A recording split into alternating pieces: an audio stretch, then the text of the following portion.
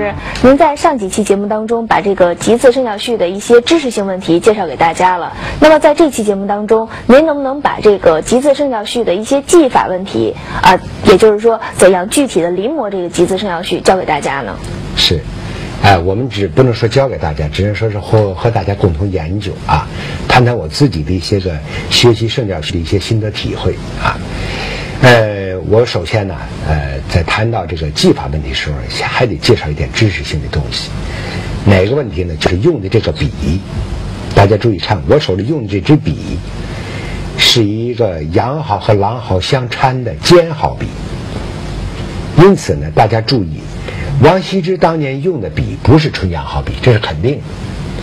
但是呢，有很多人考证说，王羲之当初啊喜爱用高丽纸，呃，喜爱用蜀毫笔等等这些东西呢，我觉得嗯未必这么精确。但是我们可以断定，王羲之当年和欧阳询、柳公权、颜真卿晋唐时期用的没有纯羊毫笔，因为那个年代还没有生产纯羊毫笔，或者是呃极小地方使用也是低等的笔。那么，呃，到欧阳询、虞世南他们这批人，呃，都是这个国家的重臣，所以他们用的都是进贡到皇宫里的笔，因此那时候肯定没有纯羊毫，一般都是兔毫笔。王羲之用的是什么笔，无法考证，但是有一条可以肯定，不是软毫笔，也就是羊毫笔，不是的。那么我们现在的说呢，在临写圣教序的时候，用纯狼毫笔。不太适合，因为它倔硬无韵。有的人喜欢用纯纯狼毫，写的也很好，但是相比之下，我觉得还是用尖毫笔比较合适，也就是它的软硬的程度适中。那么我们在写楷书的时候，也用的是这支笔；写行书呢，还用的是这支笔。所以呢，尖毫笔适合写欧阳询楷书和王羲之的圣教序，这是我个人的哎这么一点看法，希望大家仅做参考而已啊。然后我们谈到一些个技术性的问题，技术性的问题也是临帖的一个核心问题。我们还是把这本圣教序打开让大家看，就在临帖的这个过程当中啊，要注意些什么问题？还是和楷书一样，基本是一致的，大体是三个方面。第一个是字迹清楚的，第二是常用字。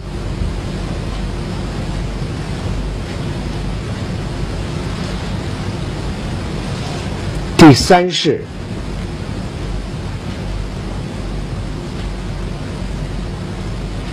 简单，这个简单指的是笔画少。这个常用字呢，就是我们通常能所使用的字。清楚呢，就是因为是碑刻，有的地方它风化剥落失真了，那些字就不临其他。啊，对于不是常用字。或者是写个这个这个呃几个月都不见得用得着的一个字，这些字暂时不练习。再一个笔画特别多的时候，在初学者这里注意，暂时不练习，放在后边再学习。所以在初学的时候，呃写这个圣教序也好，临其大碑帖，都是掌握这么三个原则：清晰的、常用的、简单的，啊，笔画少的。但是这个简单呢，也不是说只写一二三，每天练完一写二，写完二写三，不是这个意思。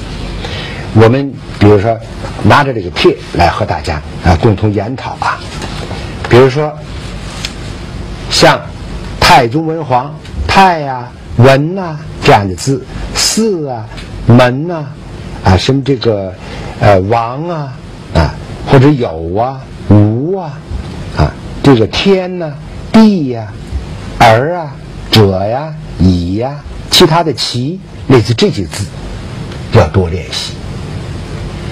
这样的这些个经常使用的字，而且在这里边，呃，有很多很多的这些字例，呃，供我们学习。所以呢，都以这些字为入门，反复的练习。在这一点上，我特别要向朋友们强调，十分关键的是，这对于少数字，反复的练习，不厌其烦的练习，练习，攻克为止，不要计算字数。有的学习这样，王字写十遍，西字写十遍，之字写十遍，没有用，这是很不好的一个方法。比如说，这个“之”字没有写好，我写十遍没写好，就写它一百遍；一百遍没写好，写它一千遍；一千遍没写好，写它一万遍，甚至更多。攻其一点，暂时的不计其余，就照着一地方攻克。我在他的书法当中，我经常引用毛泽东的一个战略思想，叫做“伤其十指，不如断其一指”。这个这个军事思想可以用，也用到我们书法学习当中来。他这个军事思想是什么呢？比如，比如有十个师，我每每个师都攻击他，把这师。十个师打的都七零八落的，表面看来我很有成果，实际上打的他七零八落的，等到战争结束之后，他重新又组装，渐渐的他又恢复起来了，十个师还是存在着，下次打仗十个师又成了你的敌手，怎么办？我这十个师里面，我集中打他一个师。我彻底消灭一个师，让他永远不能再有战斗力，彻底消灭他。就说伤其十指，不如断其一指，把十根手指头都打伤了，他慢慢慢慢就养好了，就能恢复了。我直接砍掉你一个手指头，让你永远不可能再生。那么我们用这种方法，在临帖的时候也是这样的。我们把十个字都临摹的差不多，没有用。我们照着一个字突破它，让它彻底的酷似逼笑，酷似，彻底掌握了它这个法则，写的非常非常相似相似了，达到自己满意，达到老师们看过之后，老师们也满意，大家认为这个字写成功了，自己也感到满意的时候，再写第二个字。听了这个办法非常的笨，我忘了是哪位前人讲过这样一句话。他说：“最聪明的人呐，常常在学习当中用最笨的方法。”我觉得非常好。就像当年邓拓讲一样，他说：“学习书法是没有捷径的，唯一的一个捷径就是不走捷径就是捷径。”你看说的多好。所以我们学书法，很多人犯这个毛病，就浅尝辄止。一上来就大片的临习，就是从开始“弘福寺沙门怀仁及右军将军王羲之书”开始，哗哗哗把一整本整个都通临下来。另外一遍看着不像，又写，然后他跟我说：“我光是圣教序，我临了有一百通。”我看看他字之后，我替他伤心，可惜花这么多的时间。进步不大，为什么？就是不能集中的攻克里边的一部分字，先把里边笔画简单的常用字、少数的反复的攻克它，把这少部分字解决了，就以点带面背一反三，很多的问题就都解决了。连其中一个字都不能彻底写好。你就临一百通，临一千通，有时候是没有用的。所以，什么叫财富呢？财富就是必要的劳动。你呢，临了一千通，就抄帖，哗哗哗抄一遍，抄抄一遍，所以没有意义的。因此，有一个朋友跟我说，他说某某一位书法家，一个文人，他把自己的论文。几百万字从头到尾抄下来，你想他下多的功夫，那字写的一定非常好。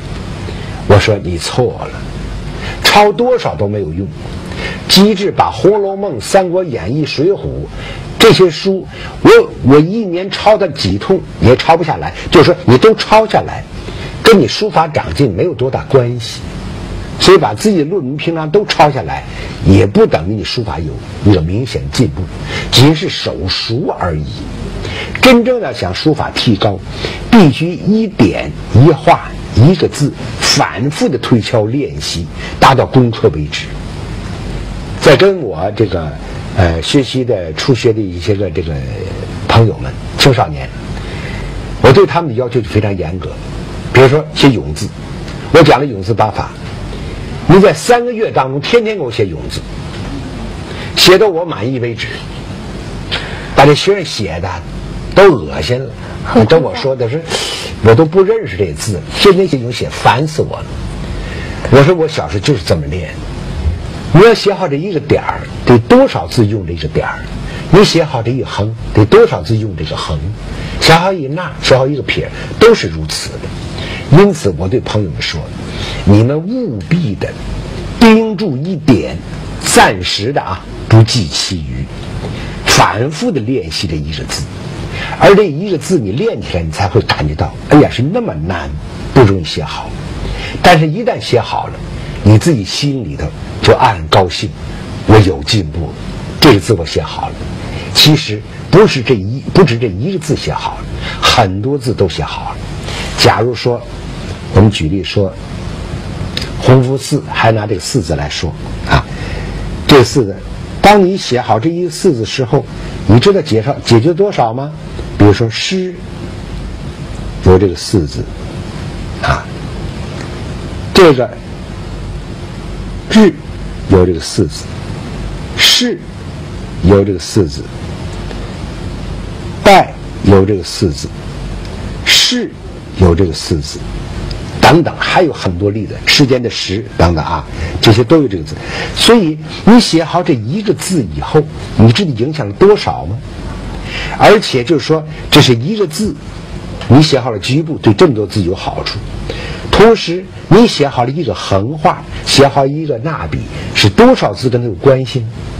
所以，劝大家一定注意这些问题。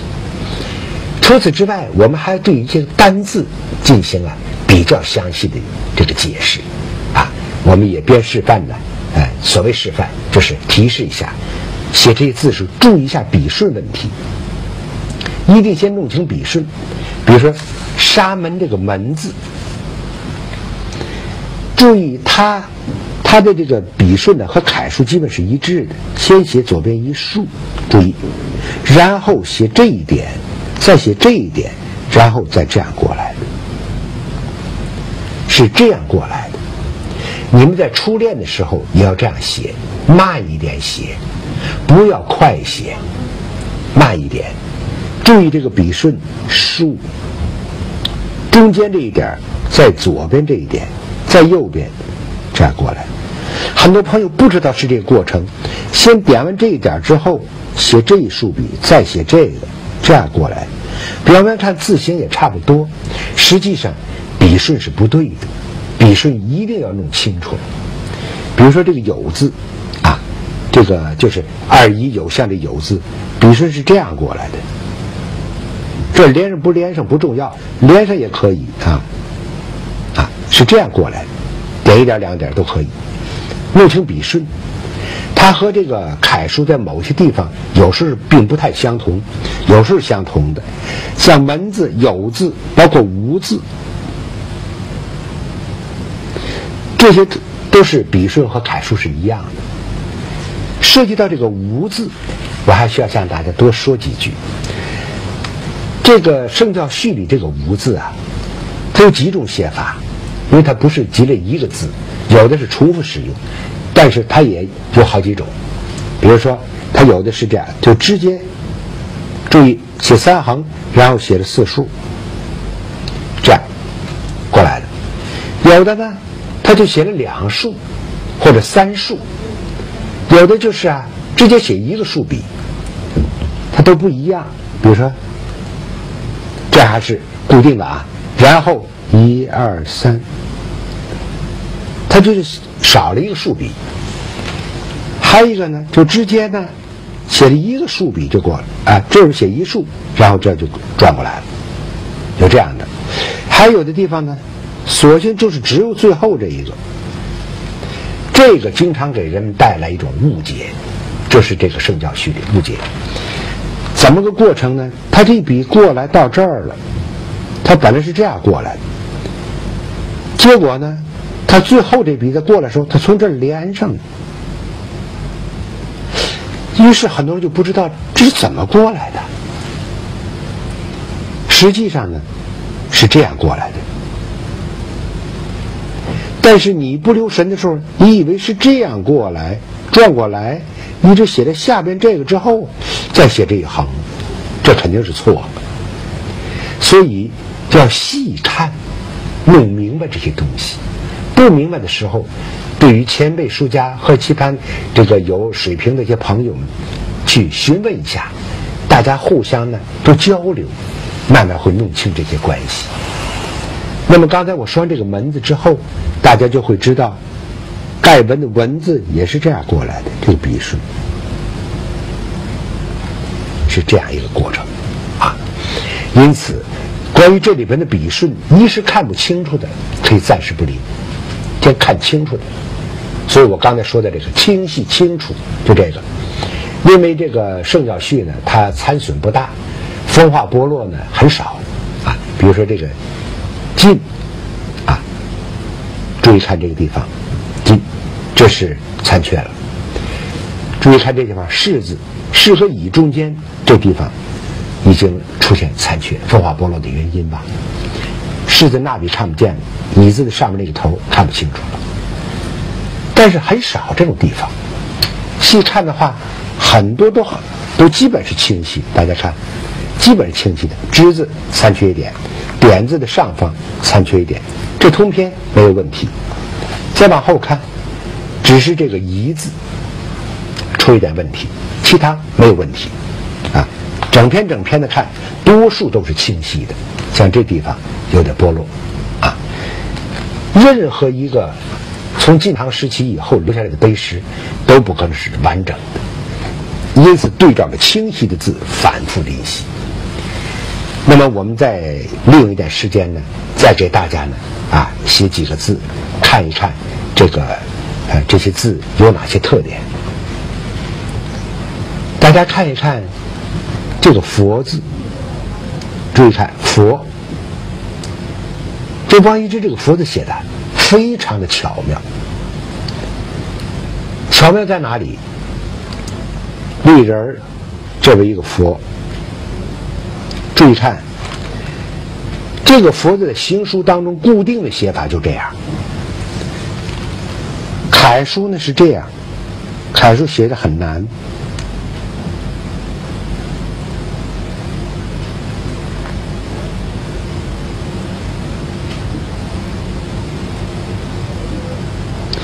在前人那里的看那个佛字在楷书好不好，他看你中间这几个不白匀不匀，是看你这几个龙当。有的人写不好，这个时候就经常，比如说写完这之后，这写到这儿来了，然后这一笔，于是这边这么大，这边这么越来越小，这就很难看。还有的连这个横画间距都没有，就是这样，这是这样的，这是这么宽的，于是写出来再不正，所以这种字就失败了。但在行书阶段没有这么严格，但是它需要你趣味。有的人写这“佛”字时候啊，写三个转折，这就很笨重。王羲之在写这书行书处理方法是这样，就非常简单、非常美观、非常漂亮，而且感到里面非常的恬静文雅，所以大家在临习的时候，你深入进去，你就会越临越有滋味。而不会感到哎呀，非常的寂寞呀、孤独啊。有人说写字就要不呃这个甘于寂寞，我说你只要感到有寂寞感了，你这字就练不出来了。比如说你写字的时候觉得，哎呀，我太苦了，我临习这写字的时候太累了，太艰辛了，呃，这个寂寞的很呐。你有这种感觉，你写不好字。你一定觉得，哎呀，这个时间属于我的了，非常安静的，自己在屋里边，是这个在安心的读书写字，这是一种享受，多顿觉得是一种享受了，而且，呃，非常的呃不忍的放下笔，放下字帖，放下书的时候，那么，你将离成功很近了。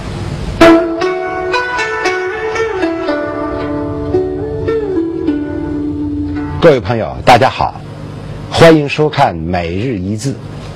今天我们向大家介绍一个“记”字，这个“记”字就是继续的“继”，啊，我们先用楷书向大家演示一下这个字的基本写法。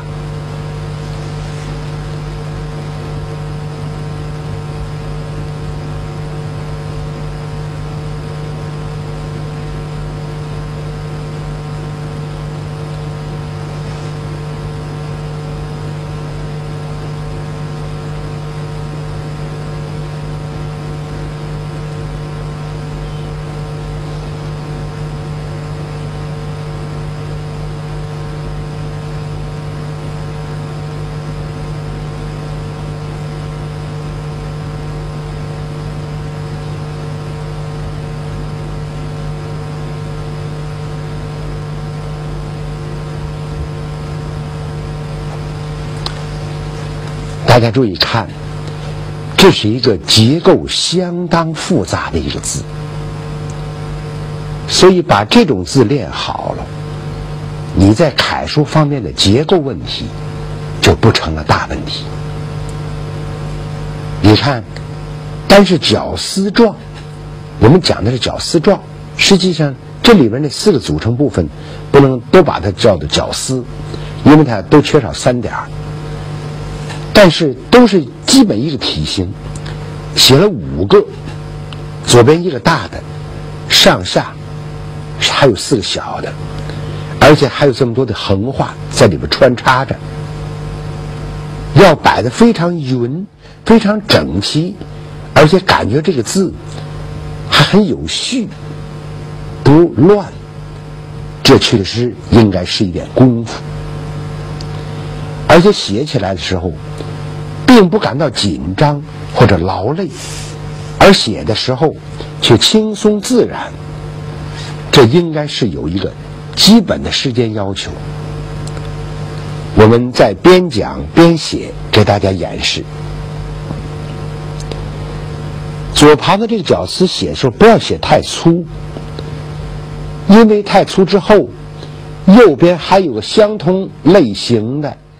呃，这么四个星体接近的这个字样，忽然粗细变化太大，就显得不好看。但是同样又要比那几个绞丝呢写的稍稍的粗一点，这是个度。注意看，在这个地方要有耐心的。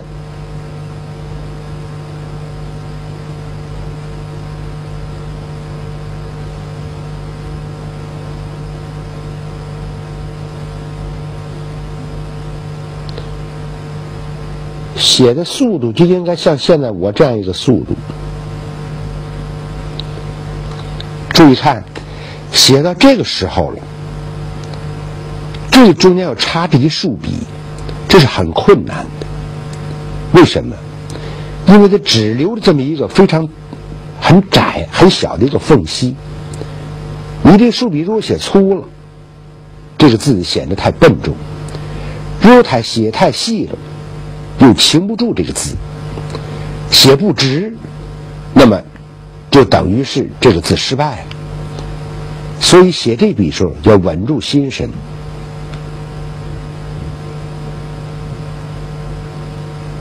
写在这收笔，然后写下方这一行，最后收笔。所以写这种字非常较量你的基本功。你基本功不好，你遇到这种字的时候，你就无可奈何了。再给大家演示一遍看，就说这是个，我们把它看，这是一个格啊，这是一个格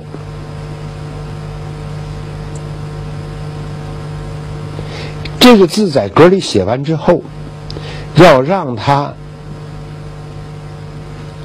上下左右基本上取中。点画的粗细大小都适度，稍微写大点，大家看。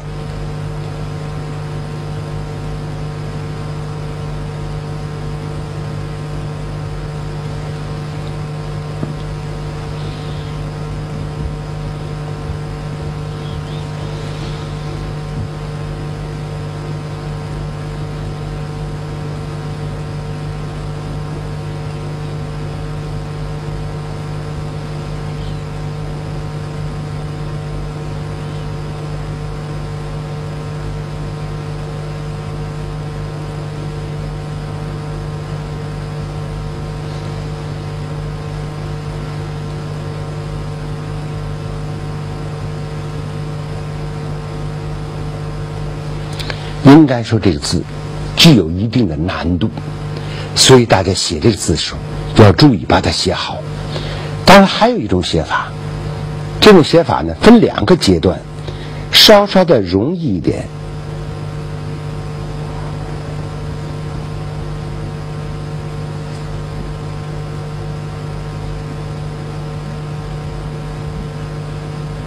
这是一样的，在这地方呢。打了一个隔断，从这就拐过来了，然后下方又是这样，这下方又开始这样，写了两个这么样的转折。那么这样写呢，还稍稍好写一点，因为左边的这一竖笔，它分成两个段落去写，就省事儿多了。如果这一竖笔直接从这个空缝里头直接写下来，非常准确的。这笔的难度是很大的，因为稍稍你有一点呃没有把握，这个字就失败了。好，我们给大家介绍一下这个字的行书写法。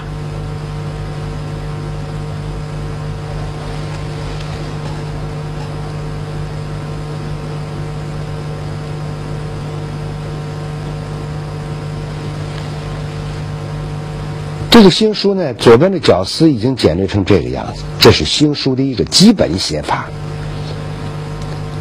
上边呢是这样，然后呢写了一横，在下边呢写这样一个，又像山又像个纸字这样一个字形。所以大家在看到这个写法的时候呢，就觉得。它既很认，呃，很方便认读，一看就这是个“记”字，同时呢，也简得感到简约多了。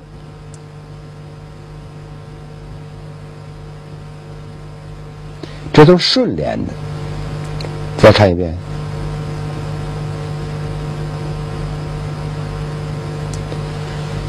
这是一种写法，还有一种写法呢。这个角丝儿写完了，然后这个两个写完之后加一横，顺序下边写两个点儿，然后从这儿拐过来，这种写法也是对的。啊，再看一遍，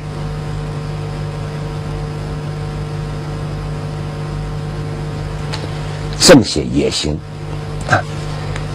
这个行书呢？呃，更多的是这两种，但是我们不可能把古碑帖当中前辈书家所写的呃任何一种写法，我们都向大家介绍那么多，我们只能呃介绍呃这个更多见的啊主要代表性的书家的一些写法，这是我们的宗旨。呃，另外呢，也很诚实的跟大家说，那么多的。呃，书家们的写法呃那么多，我自己把一样一样都得说清楚了。我本人也没那么多的知识和水平，啊，所以向大家很抱歉的说，只能介绍主要的方面。再看一下，注意这个角色一定要写好。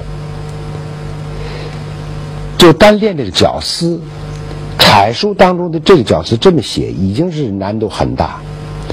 然而，它又跟楷书、行书、草书各不相同。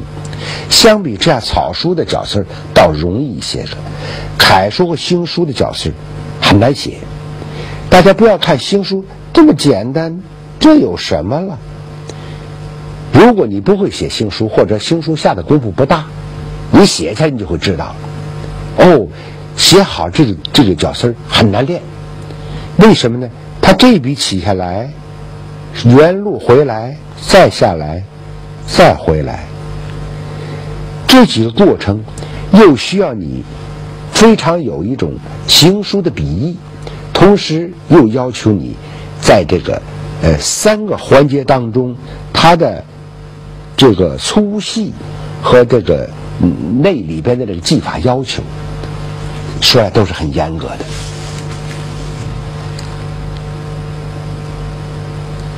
再看这个字行书写法，同样这也不是说拿起来一看就会，不是的，做不到的，需要耐心的。所以写好行书又是一番功力，并且我多次讲，如果你行书写不好，草书写不好，你的楷书。就缺乏高度，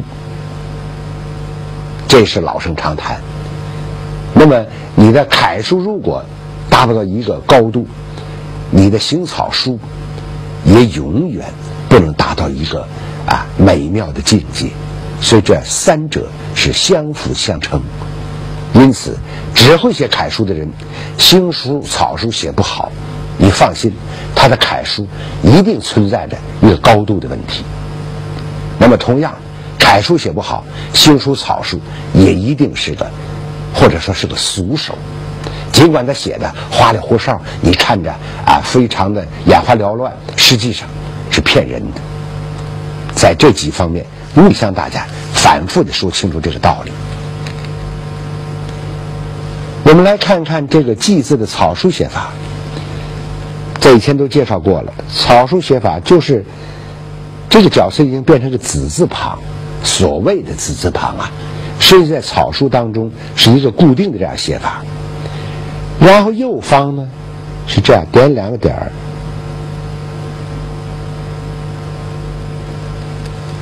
是这样。所以大家见到这个字的时候，对于一些个青年朋友们说：“哎，这样写的话，我倒容易看清楚了，真的很像个‘记’字。”因为现在简化的这个“记”字呢。哎，就是好像是个米字啊，这样拐过弯来啊。如果我记如果没错的话，是这样的。所以呢，右旁呢，就基本是这个样子。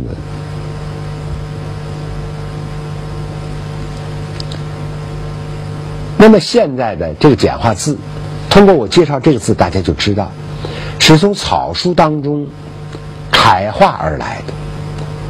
把过去草书的这个写法用楷化。然后变成简化字，所以呢，我跟大家说，很多的简化字都是从草书当中把它楷化以后，成为现代的简化字的。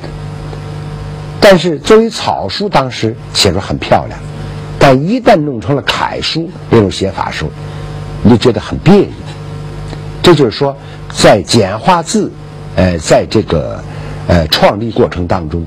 是没有把书法这个意义考虑进去的，因此我们现在搞书法的朋友们，多数都不愿意写简化字，原因就是，呃，这里边很多蹩脚的地方，啊，我们在前面有专题介绍过，现在，呃，再略加一点补充，比如说这个绞丝的现在的这个，啊，这个这个简化字，你看这样写。这绞丝旁，实际上就是根据草书这样过来，就是这样过来。但是我们当把这个 绞丝旁按简化字这样写过来的时候，就感到很不舒服。为什么呢？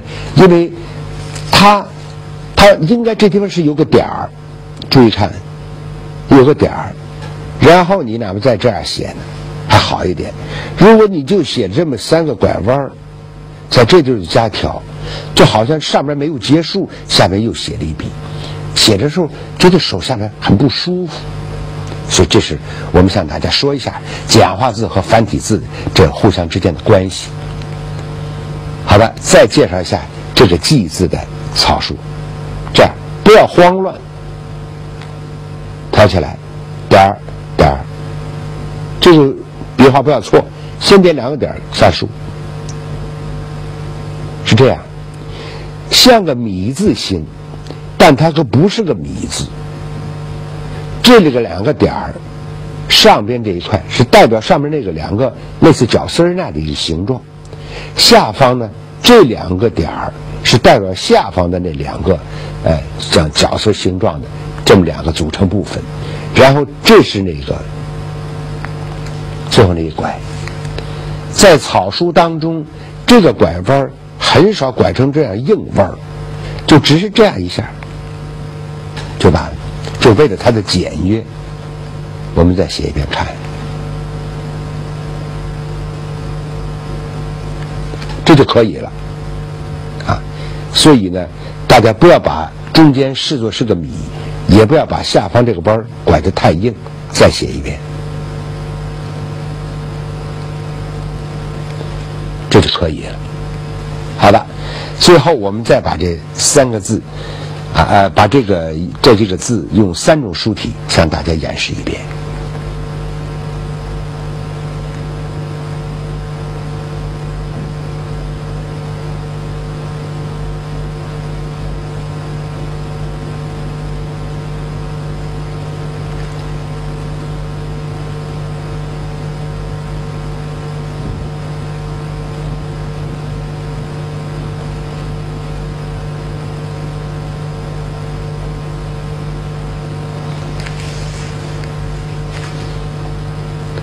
上面这是楷书，看一下这个字的行书。